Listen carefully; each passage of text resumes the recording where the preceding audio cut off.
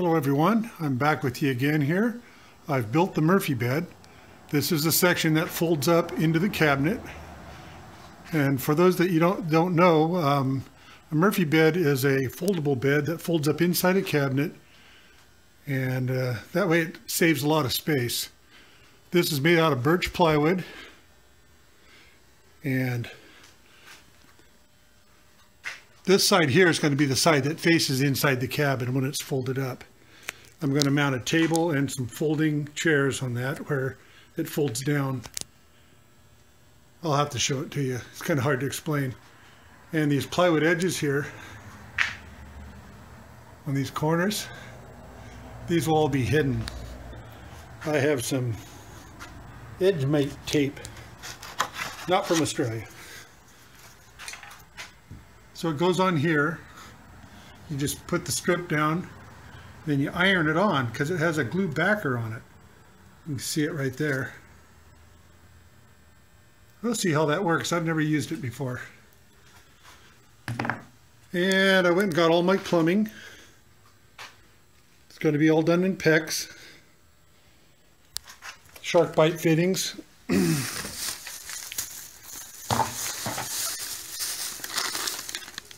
Got some nice hangers to keep it uh, nice, good and tight. That's what a SharkBite fitting looks like. Basically, you cut the pipe, you cut this pipe here to length, and you just push it in, and it locks down. It's supposed to be leak proof. First time I've ever used it. But we'll find out. I may go back to uh, um, CPVC. That's what I was using before. I got the sink hookups.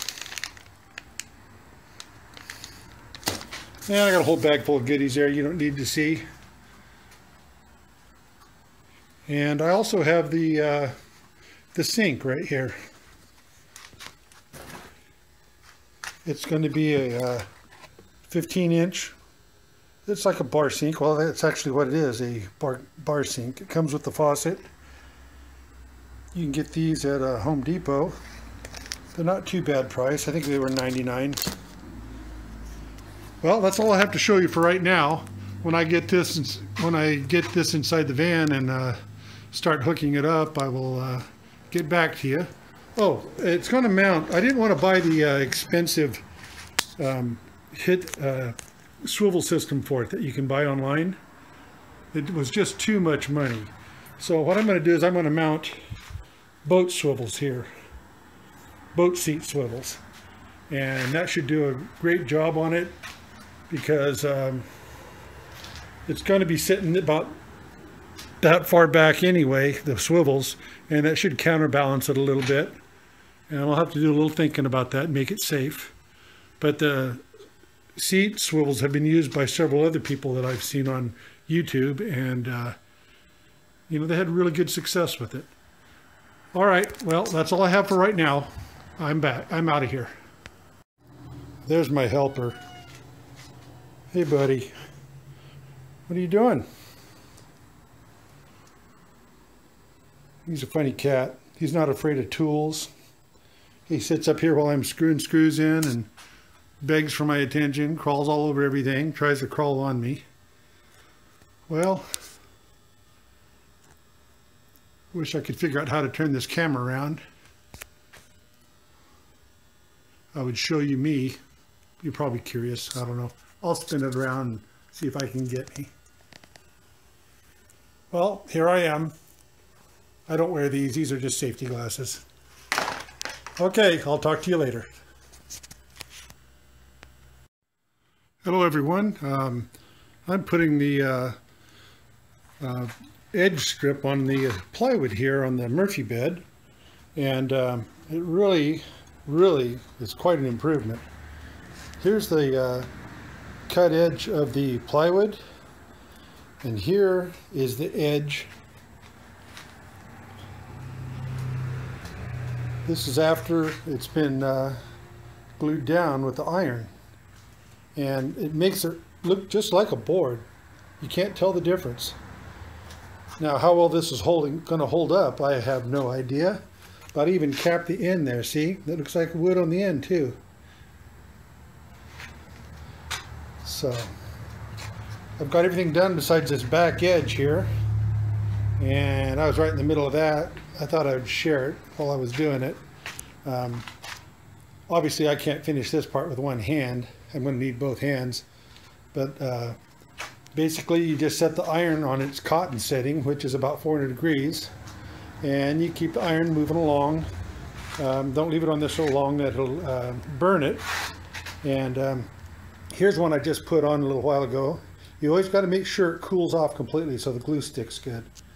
But this is ready to be sanded off. See the edge that's sticking out? I'll do that real quick here so you can see what that's looking like.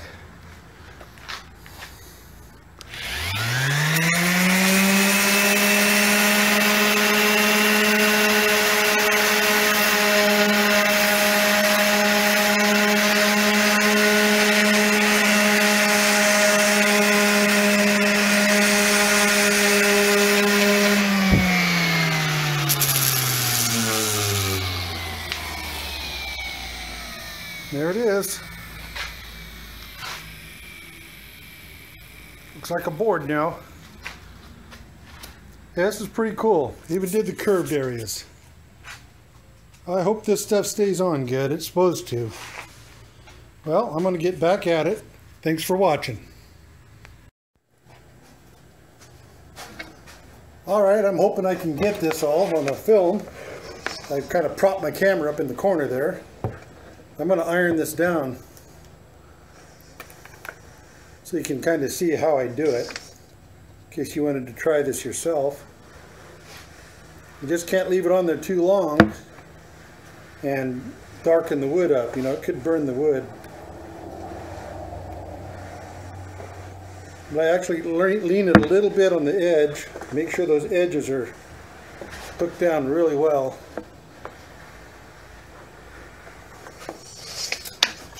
Do the section at a time here, make sure we get it good.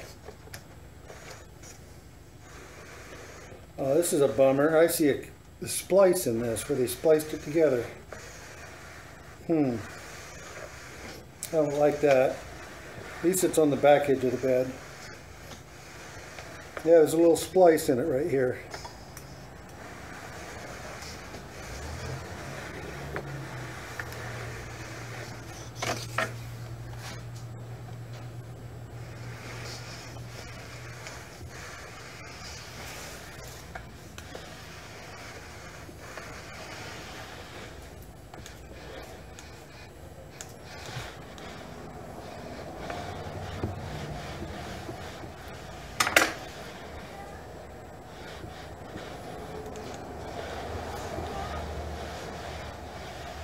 Oh, I'll be right with you. Okay, I need some help out front. Okay.